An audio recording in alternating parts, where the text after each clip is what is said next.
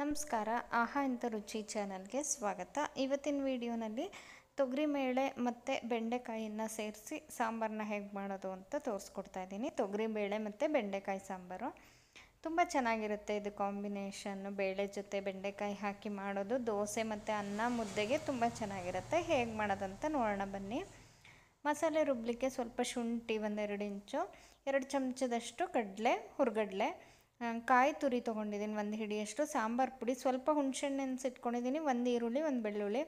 ಹಾಗೆ ಬೆಂಡೆಕಾಯಿ ಸಣ್ಣದಾಗಿ ಹೆಚ್ಚಿಟ್ಕೊಂಡಿದ್ದೀನಿ, ಒಗ್ಗರಣೆಗೆ ಎಣ್ಣೆ, ಜೀರಿಗೆ ಸಾಸಿವೆ, ಕರಿಬೇವು, ಈರುಳ್ಳಿ ಮತ್ತು ಟೊಮೆಟೊ ಹೆಚ್ಚಿಟ್ಕೊಂಡಿದ್ದೀನಿ. ಸ್ವಲ್ಪ ಬೇಳೆ ಬೇಯಿಸಿಟ್ಕೊಂಡಿದ್ದೀನಿ, ಒಂದು ನೂರೈವತ್ತು ಗ್ರಾಮಷ್ಟು ಬೇಳೆನ ಬೇಯಿಸಿ ಇಟ್ಕೊಂಡಿದ್ದೀನಿ ಬೇಳೆ ಕಟ್ಟು ಈಗ ಒಂದು ಬಾಂಡ್ಲೆಗೆ ಒಂದು ಸ್ಪೂನಷ್ಟು ಎಣ್ಣೆನ ಹಾಕಿ ಬೆಂಡೆಕಾಯಿ ಹಾಕ್ಬಿಟ್ಟು ಸ್ವಲ್ಪ ಫ್ರೈ ಮಾಡ್ಕೋಬೇಕು. ಅಂದರೆ ಸಾಂಬಾರಲ್ಲಿ ಅಂಟಬಾರ್ದು ಬೆಂಡೆಕಾಯಿ ಅಂತ ಈ ರೀತಿ ಮಾಡ್ಕೊಳ್ಳೋದು. ಅದನ್ನು ಒಂದು ಹತ್ತು ನಿಮಿಷ ಹುರಿದ್ಬಿಟ್ಟು ಸೈಡಿಗೆ ತೆಗೆದಿಡೋಣ. ಈಗ ಒಂದು ಮಿಕ್ಸರ್ ಜಾರ್ಗೆ ಸಾಂಬಾರು ಪೌಡರು ಶುಂಠಿ ಮತ್ತು ಈರುಳ್ಳಿ, ಒಂದು ಬೆಳ್ಳುಳ್ಳಿ ಹಾಗೆಯೇ ತೆಂಗಿನಕಾಯಿ, ಹುರ್ಗಡ್ಲೆ ಇದೆಲ್ಲನೂ ಸೇರಿಸ್ಕೋಬೇಕು. ಮಸಾಲೆ ರುಬ್ಬಕ್ಕೆ ಇಟ್ಕೊಂಡಿದ್ದಾವಲ್ವ, ಅಷ್ಟನ್ನು ಸೇರಿಸಿ ಸ್ವಲ್ಪ ನೀರು ಹಾಕ್ಕೊಂಡು ಇದನ್ನು ಸಣ್ಣದಾಗಿ ರುಬ್ಕೋಬೇಕು.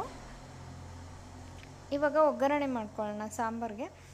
ಒಂದು ಸಾಂಬಾರು ಮಾಡೋ ಪಾತ್ರೆ ಇಟ್ಕೊಂಡು ಒಂದೆರಡು ಸ್ಪೂನು ಎಣ್ಣೆ ಹಾಕಿ ಸಾಸಿವೆ ಕರಿಬೇವು, ಈರುಳ್ಳಿ ಮತ್ತು ಜೀರಿಗೆ ಹಾಕ್ಬಿಟ್ಟು ಒಗ್ಗರಣೆ ಮಾಡ್ಕೋಬೇಕು.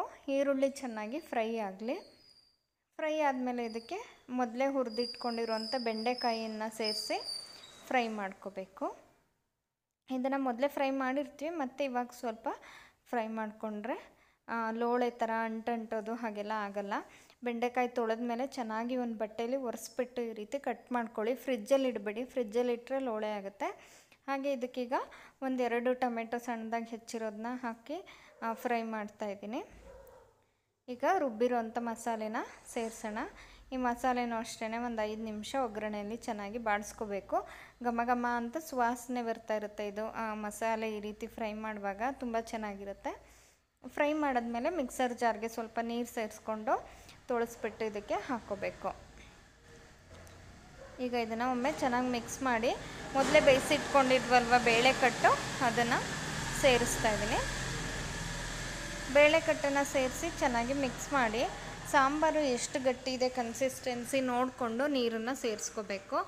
ತುಂಬ ಗಟ್ಟಿ ಇದ್ದರೆ ಸ್ವಲ್ಪ ನೀರನ್ನ ಸೇರಿಸಿ ಕರೆಕ್ಟ್ ಹದಕ್ಕೆ ತೊಗೋಬೇಕು. ಈಗ ಅದಕ್ಕೆ ಸ್ವಲ್ಪ ಉಪ್ಪು ಹಾಕ್ಬಿಟ್ಟು ಬೇಯೋದಕ್ಕೆ ಬಿಡ್ತೀನಿ.